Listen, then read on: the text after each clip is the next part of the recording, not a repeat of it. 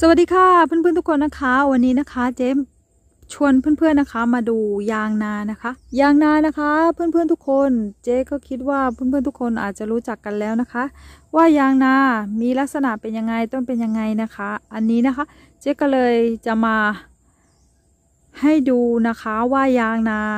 ตอนที่เราปลูกกันอาจจะต้นแค่เล็กแค่เน็ตเล็กนิดเดียวเองนะคะ เพื่อนๆแต่ ว่าตอนนี้นะคะเผลอแป๊บเดียวนะคะเขาก็โตขนาดนี้แล้ว ประมาณ 10ถึง15 ปีประมาณนั้นนะคะ ถ้าจำไม่ผิดนะคะ ก็ยังจำไม่ได้ด้วยนะคะ ว่าประมาณกี่ปีแล้วนะคะ ที่ปลูกมานะคะอ่าอันนี้เขาจะโตเร็วมากๆเลยนะคะ เราดูไกลๆเพื่อมองในมุมกว้างนะคะ มุมกว้างให้ได้เห็นยางนาชัดๆนะคะ ให้ให้เห็นหมดต้นเลยนะคะ อันนี้นี่ ตอนนั้นนะคะที่เอามาปลูกนะคะ ตอนนั้นเขาจะเป็นคล้ายๆว่าเขาจะแจกนะคะ รัฐบาลเขาจะแจกในช่วงนั้นนะคะ ประมาณสิบปีมาแล้วมั้งประมาณนั้นนะคะเขาจะแจกเป็นต้นไม้นะคะ เอามา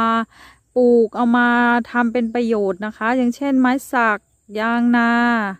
แล้วก็พยุงอะไรทำนองนี้นะคะเขาจะแจก แล้วก็ยังมีอีก หลายหลายพันนะคะที่เขาแจกมานะคะ แต่ว่า อันนี้นะคะเป็นยางนาที่ตอนนั้นที่แจกแล้วก็เอามาปลูกนะคะ เหลือประมาณขนาดนี้นะคะเราจะเห็นได้นะคะว่าต้นเขาจะโตเร็วมาก ๆเลยนะคะ นี่เราไปดูใกล้ ๆ กันเลยดีกว่านะคะ เพราะว่าเราดูไกลลักษณะต้นแล้วเขาก็ยังจะยังยังจะโตนะคะ แต่เราไปดูใกล้ ๆ กันเลยนะคะ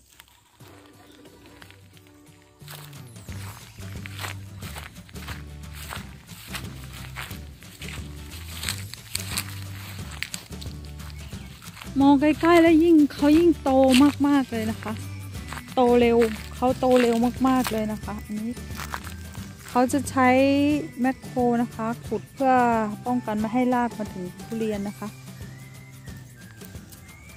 นี่ค่ะเขาจะใช้แมคโครขุดตัดรากนะคะ ตัดรากข้างบนนะคะ เพราะรากฝอยอยู่ข้างบนเนี่ยเขาจะไปเร็วๆมาเขาจะไปเร็วมากๆเลยนะคะ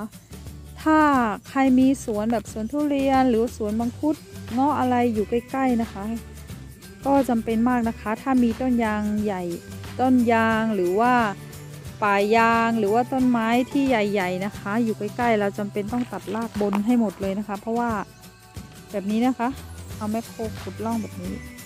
เพื่อตัดรากบนนะคะ เพราะว่ารากบนเขาจะเป็นรากฝอยเพราะรากฝอยนะคะเขาจะหากินได้เร็วได้เร็วมากๆเลย หาไปทั่วเลยนะคะ ข้างล่างเขาก็จะเป็นรากเหมือนกัน แต่อาจจะไม่ใช่รากฝอยมากนะคะ ก็ยังยังตัดกำลังได้ไปประมาณนึงนะคะ แต่พอเวลาเขาอยู่ตัวแล้วเขาก็เหมือนเดิมนะคะ แต่ก็ยังตัดรากบนได้บ้างนะคะ เรามาดูยางต้นนี้กันนะคะ โห สวยอะค่ะ สวยมากๆเลยนะคะอันนี้ โอ้กว่ากว่าจะปลูกได้นะคะ ต้นเล็ก ต้นเล็กๆอะ่ะ ต้นเล็กประมาณ ยาวประมาณขนาดนี้เองนะคะ ที่เอามาที่เอามานะคะ แล้วก็พอมาปลูกปุ๊บ อ่า แล้วก็คล้ายๆว่าจะลืมด้วยหรือยังไง พอมาดูอีกที อ้าว หรืออาจจะเป็นเพราะว่ามันชินด้วยหรือเปล่าก็ไม่รู้นะคะ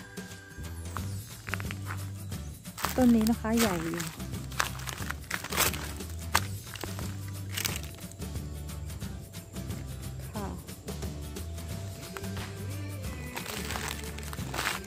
ก็จะบอกว่าใหญ่ทุกต้นนะคะ เพราะว่าเขาปลูกพร้อมกันจะเป็นต้นนู้นน่าจะใหญ่สุดเลย เพราะว่าต้นเขาออกจะแดงเลยนะคะ ค่ะเพื่อนๆคะก็คลิปนี้นะคะก็เรามาดูยางนากันดีกว่านะคะด้วยลักษณะตามชื่อของเจ๊นะคะ คือเจ๊ชงชอบเล่าแล้วก็ชอบไลฟ์นะคะ ก็เลย เห็นแล้วก็เอามาเล่ามาไลฟ์ให้เพื่อนๆฟังนะคะ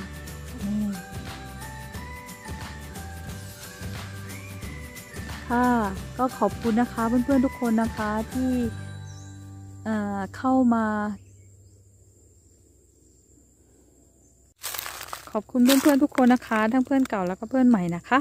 ที่ให้โอกาสเจ๊นะคะได้เล่าถึง ทุกๆอย่างนะคะ ประสบการณ์ไปเที่ยว หรือว่าทำสวน หรือว่าทำอะไรทุกๆอย่างเลยค่ะ ไม่ว่าจะกินเที่ยวนอนทำงานอะไรเงี้ยค่ะ ก็ขอบคุณนะคะ เพื่อนๆทุกคนนะคะ ที่ให้โอกาสเจ๊นะคะ ก็ขอให้ทุกคนนะคะ ประสบความสำเร็จโดยเร็วนะคะ อย่างที่ตัวเองตั้งใจไว้นะคะอ่าขอบคุณมาก ๆ ค่ะ งั้นไปก่อนแล้วนะคะ เพราะว่าตอนนี้นะคะกำลังรดน้ำไว้อยู่เลยนะคะรดน้ำะเขือพวงไว้นะคะ ก็ต้องไปแล้วนะคะ เจอกันในคลิปหน้านะคะ สวัสดีค่ะ บ๊ายบาย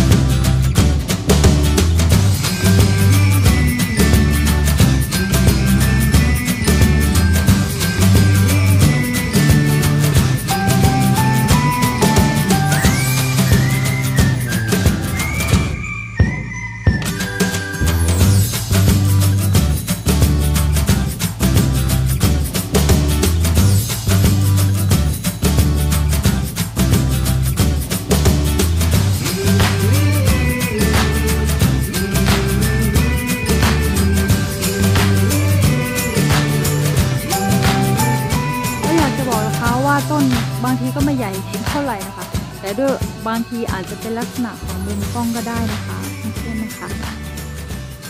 อย่างเช่นนะคะ ต้นนี้ต้นนี้นะคะ ก็จะพอๆกับต้นนู้นนะคะ แต่ว่าด้วยลักษณะของมุมกล้องมากกว่านะคะอ่าอาจจะอ่าลักษณะอาจจะใหญ่เกินไปหน่อย ก็ต้องขอโทษเพื่อนๆด้วยนะคะวันนี้นะคะ ขอบคุณค่ะ